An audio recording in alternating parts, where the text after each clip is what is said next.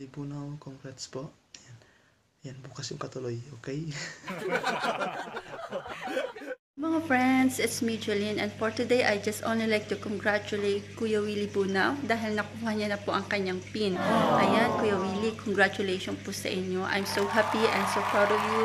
You deserve it kasi pinaghirapan mo talaga yan. Ayan, keep being an inspiration for us at sana all, sana all makakuha ng mga pin at sana all ay sumweldo.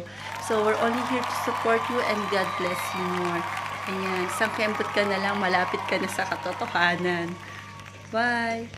Congratulations, Willie! You are now an official YouTuber. Stay humble always and thank you sa support. Uh, continue to help others sa mga small YouTuber like Gerald. Ayun, maraming maraming salamat and enjoy! Kasama ko ang aking mga saklay. Binabati kita pa rin, Willie. Ah, congratulations at nakuha mo na ang iyong minimiti. Isa ka ng legit YouTuber. Congratulations ulit and more videos to come. Congrats, Willie Brunow. Uh, Myra said you got you got yourself uh, monetized. So happy monetization day.